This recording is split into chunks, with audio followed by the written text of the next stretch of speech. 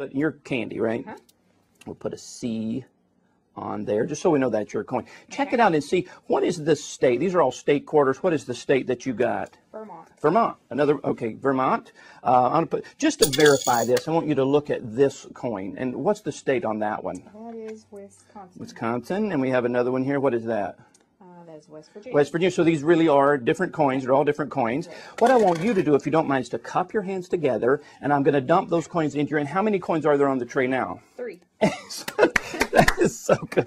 That is so good. Now, when I do this, you're just going to close your hand up. You're going to close your hand up real tight like that. So there's no way I can get anything in or anything out just like that. Just close your hand up real tight. That's perfect. And keep your hands sort of closed together real tight. You've got three coins. I've got one coin. What I want you to do, Candy, if you don't mind, keep them tight together and lift your hands up a little lower.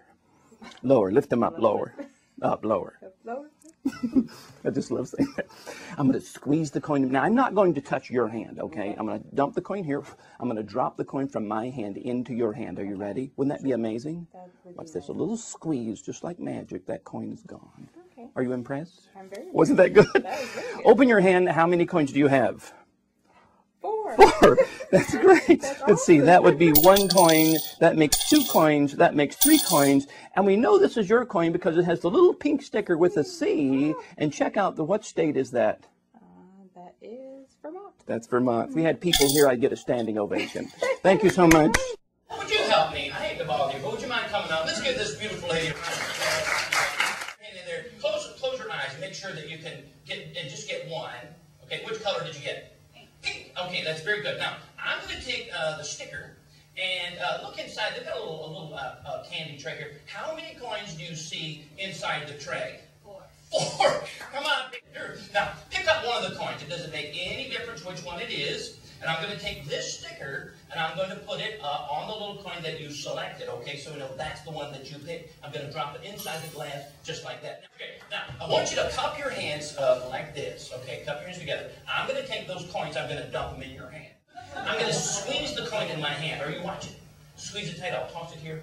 I'm going to drop the coin from my hand into your hand. Are you ready? You're going to feel a little vibration. This is unbelievable. Watch. Listen. Go. Open your hand. How many coins do you have? Four. Let's count them. that would be one. That makes two. That would be three. And we know that's yours because it's got the little pink sticker.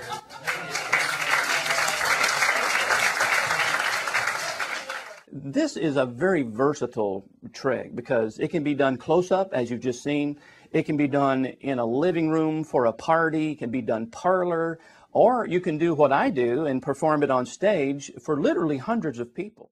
And to be able to take a coin, place it in your hand, squeeze it tightly, and just have it be gone, and that gets all the heat off the left hand, and the coin is here. It can't be anywhere else. They've just seen it go here. I toss it here. This hand is empty, and now the heat is off the left hand onto the right hand, and there's simply nothing left to do but vanish the coin and show it. I love that. okay.